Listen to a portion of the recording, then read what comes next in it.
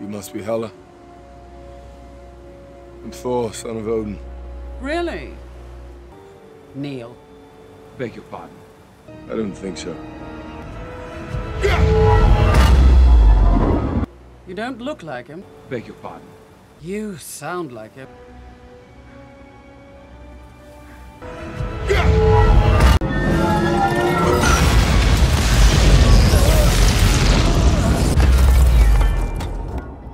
So he's gone.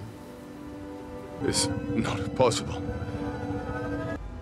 Kneel before your queen.